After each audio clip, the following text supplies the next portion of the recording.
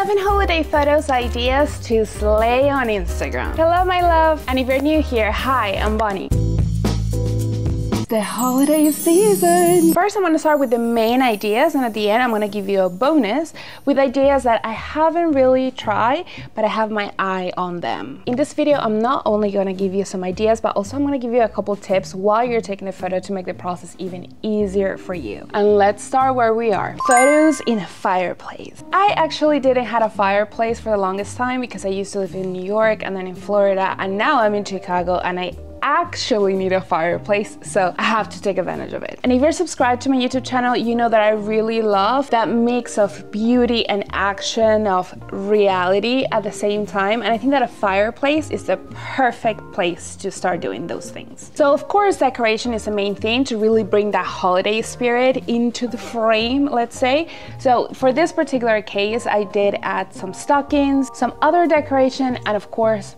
presents because nothing says more than holiday than I don't want to see my bank account in January. So, tricky thing about this shot is that you want to have a little bit of a taste of every element. Fire, the decor, your pose. You don't want to get lost into all this stuff. I wouldn't really go into it with like a super straight, rigid pose.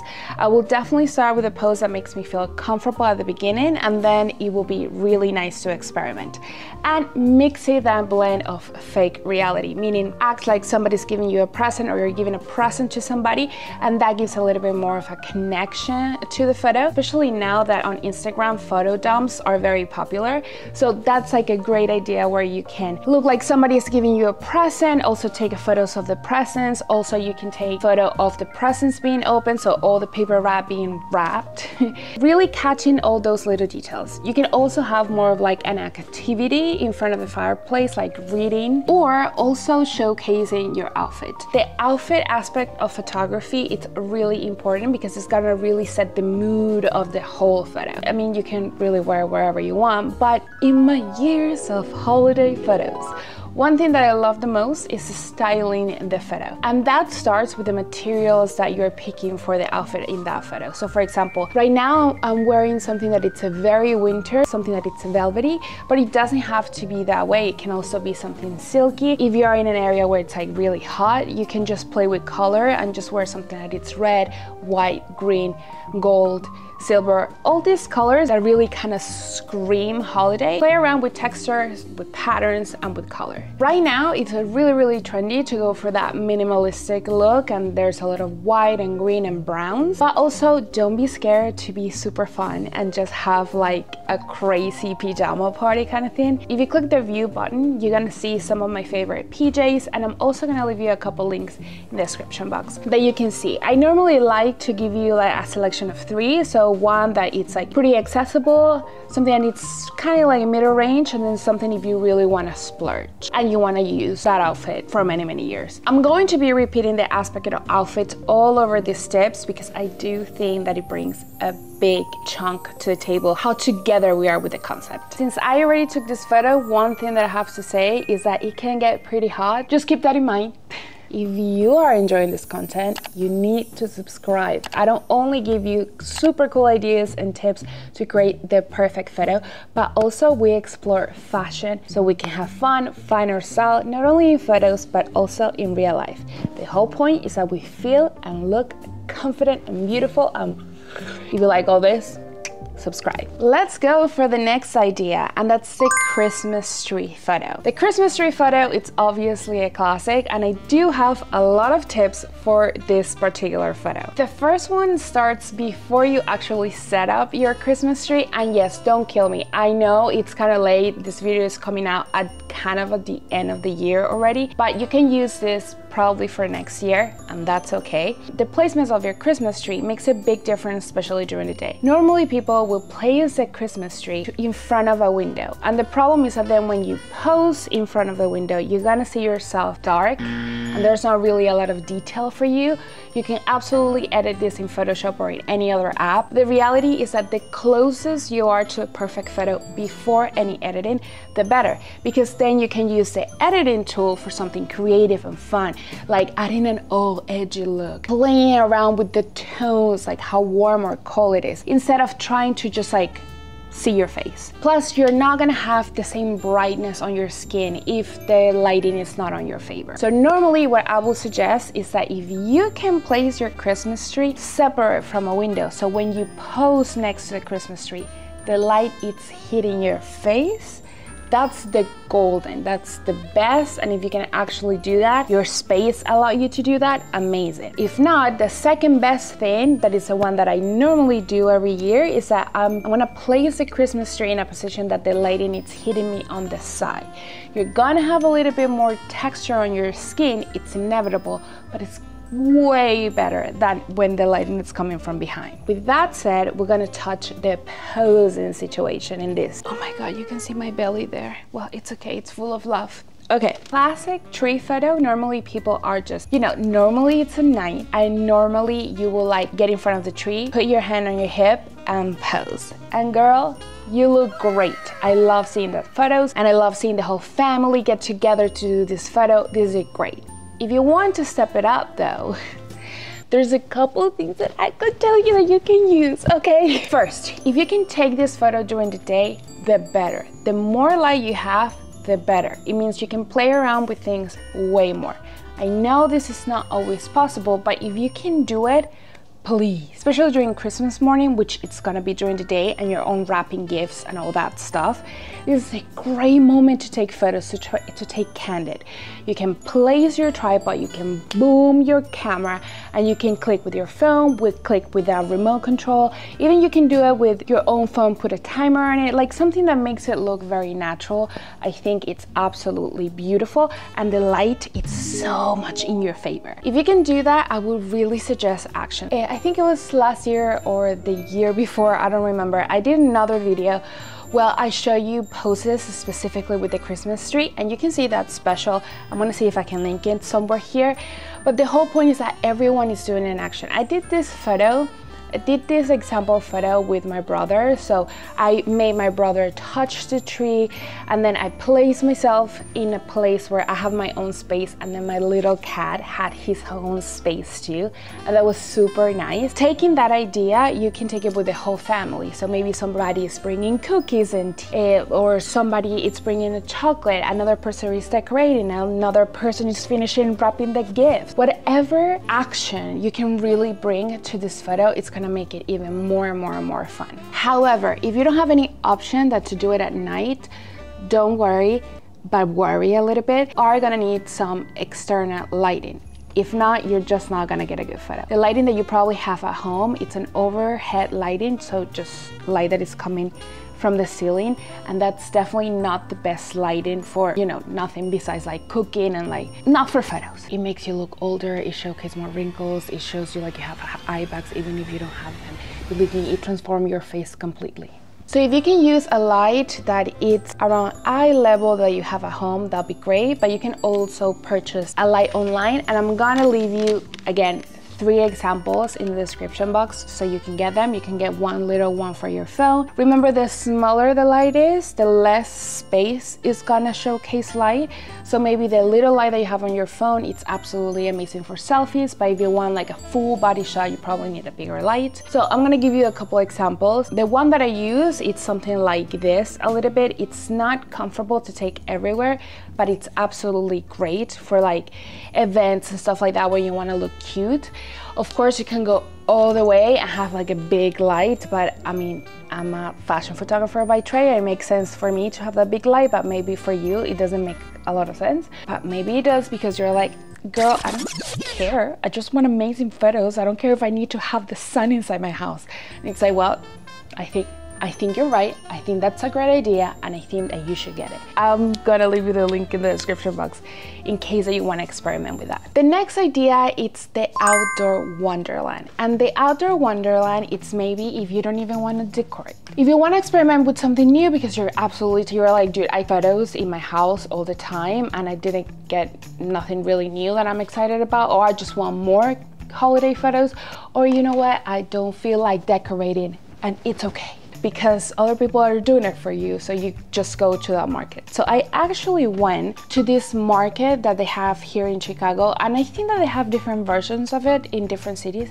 But I think it was Jack Frost. I'm not 100% sure. I'm gonna investigate and you know the actual name and it was a ton of fun. I actually never done it before. Eh, I mean, I've been into like holiday markets, but not these ones that have so many photo ops that you can just go have so much fun. I had so much fun with my husband. Post here, post there, go down, like let's make a video. It was so much fun. They had this kind of like tunnel full of lights. I made a mistake. I didn't bring my actual external light. I was like just too excited. I don't, we all make mistakes. But in this case of emergencies, what I normally will do is I will, I will use the flash of another phone and just use that light as kind of like the main light. Uh, my favorite photos of all these ones was the one that I was showcasing my belt. And again, the outfit makes a big difference because it gives you that holiday spirit. Right now, I'm in my elegant era maybe, where I'm using a lot of like minimalistic stuff. So I did pick this outfit where a very basic base and then I pimped it out. Let me show you the video. You may think that you need a lot of money to look stylish. Please, let me show you this. This is cute. I can wear some flats and I'm done.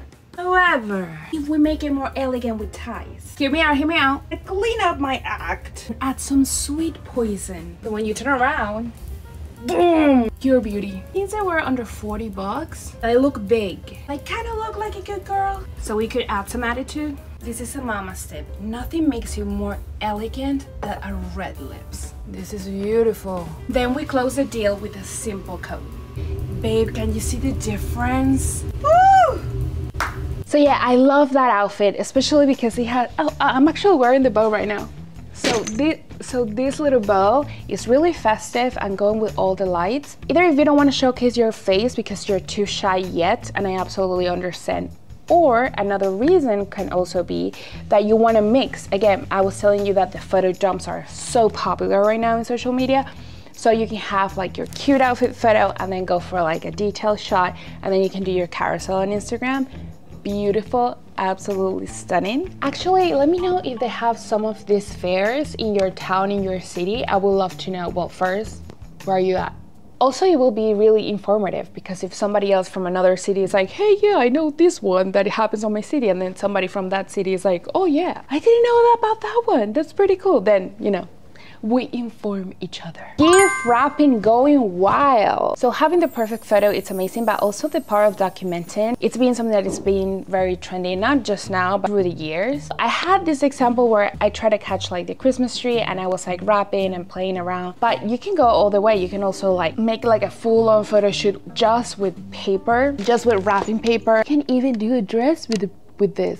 But that's for people that are a little bit more handy. I'm not that handy with creating stuff, so maybe that it's not for me, but if you do, tag me, I wanna see that dress. If you're going to this route, a couple things to keep in mind will be a lot of the color, like what's the pattern that you're using for the gifts. I think that that's quite important. This year, I was, I actually bought it in Dollar Tree, but because I knew it was not gonna be like the most fanciest and I wanted it to look nice, what I did was like to buy either monochromatic ones or just stick with one pattern. Other people bring their gift, they're going to ruin my scene, but you know, you do anything for family. But but the main idea is for it to have a little bit of space for everything. So maybe if you're picking something like this, maybe what you're wearing could be some tone of red, some tone of green, something that really plays around this, even white, so this pop up even more.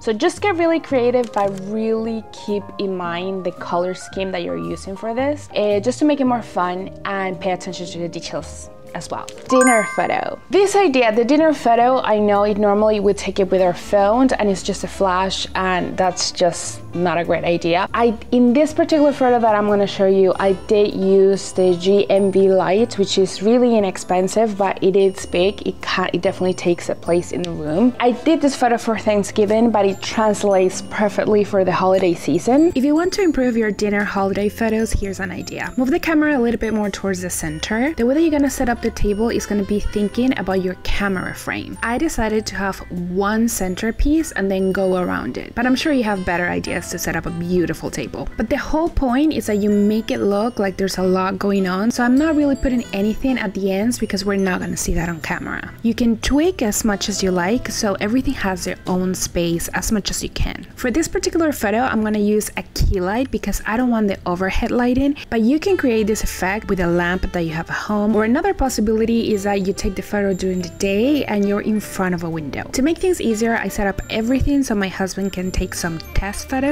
And here's the fun part, we start posing. I wanted regular cheers, I also wanted something inspiring American Gothic, and then I wanted a more lively action shot. Your food might end up being a little cool, but, but your photos are gonna go from this to something more like this. Follow for more. If you don't want to have the full-on production, I will really suggest you to start the dinner earlier if you can, so you can use natural light. Put a tripod and the most important thing is that everyone has a place where you can see their faces because sometimes, you know, everyone is like, and then everyone is covering everyone's face. So it's really nice if you can take the time to set up the tripod and be like, okay, everyone has their place. Let's do like five shots. In the first one, everyone is cheering. I know the more people are involved, the crazier this gets. But if you get in into like, hey guys, I really want a cool picture, let's have some fun, this could actually be really fun activity. You can either cheers, capture a couple shots where you guys are eating and talking, but you can actually direct people if you want. Put your sergeant uniform and be like, you interact with the mashed potatoes. You do this like you're serving. The, you look at the camera like, what the heck is happening? I mean, like all this stuff can make it really, really fun and interactive. It's really up to you. The car photo, and this is great for New Year's Eve. I've seen a ton of photos in the car, kind of simulating like if you're going to a party, you're definitely not coming back from that party because you're probably like you had too many drinks and you cannot be taking photos, girl. Before you go to the party, that's the point to do the photo. Tips for this kind of photo have external lighting because this is gonna be at night and your car doesn't have any lighting. Use some sparkle so you can have a ton of fun. So it reflects on your dress, that light reflects on your dress. At this point, you still have time to get an external light. You're watching this video and it's too late. Just use the flash of the camera of somebody else. But please get the external light. I'm gonna link it. So then you're gonna have like that reflection, that sexiness. You can go there as sexy as you want. A champagne bottle because I wanted to give out that like Vegas style. I wasn't in Vegas, I was in Fresno, Chicago, but it looks like a lot of fun. So you can add some props if you want, that's great. And also when you're editing the photo, don't be afraid to add some like weird effects. It doesn't really need to be perfect. So something like a blurry effect or like a shiny Kira effect back in the day, but any other app that allows you to do that effect, that can make the photo really, really fun. The sexy elevator. Something like you're taking off your shoes, you're in the elevator. Elevators look like very natural and pretty cool. Again, lighting could be a problem, but maybe have a really nice elevator or you can find a nice elevator. And I think that the pose should really go towards sexiness, toward it's really late and I look super cute, even though that I'm super tired. But I'm actually like just posing for the photo because I want to slay on my Instagram. So you can act like you're like taking your shoes off or just grab your shoes and go bare feet or something like that. I think that that concept around the elevator, it's pretty fun. I mean, they were supposed to be seven, but I have another one and I don't want to miss it. It's going to be really quick, I promise. Okay, it's a wide lens selfie. So of course you're going to be taking selfies with your family all the way around, but a trend that Gen Z has taken to the next level is to take photos with your back camera, better quality, remember, and choose the wide lens. So it's going to take more space. Remember that when you're using a wide lens, it's definitely gonna create some sort of distortion because it's natural because of the lens that you're using. So try to put it as far away as you can. Don't go super close because then you're gonna see that distortion on your face. And it's fine and cool if you see that distortion in other areas of the photo, but not so cool if it's on your face. Don't go that high because then you're gonna look like you have a ton of forehead. Don't go that low because you can get away with it, but you know, some of us cannot. So go for something eye level or just a little bit here, not that. A little bit here, not like here. You know what I mean? All right, so now I wanna give you a couple ideas that I've been looking at and I think they're so, so, so cute, but I haven't experimented with it, but I do want you to have them. It's gonna be like a cheesy Christmas photos, crazy flash, a very old cheesy. That's very trendy right now. So if you want to go for that vibe, great. The champagne details, I think that's a really good thing for New Year's. Another super cute idea that you can use is different wines. I think that this this is a trend that I need to credit to Emma Chamberlain. She definitely wasn't the first one doing this kind of photos, but she did bring it back. So she had a bunch of coffee. I think that if it's something New Year's, you can do a bunch of champagne and that could be really cool. If you want to go for something a little bit more elegant, I think that the campaign from Ralph Lauren this year was so, so, so beautiful. Silky materials to make it really elegant. I think it, it was it was a big win for this campaign. I'm gonna leave you the link of that dress because we need it. And finally, glamour and fast food. Uh, there's something about it. We've been liking it for many, many, many years, and I think that it's something that you can experiment, especially again because it goes a lot with the storytelling things of part of things. So maybe you have a really fancy dress or like a lot of fur or something like that, and then you're eating just like greasy pizza. And yeah, for some reason that it's cute, so it could definitely be a nice idea. If you have fun in this video, subscribe because cool people do cool things. And that's it. Love you.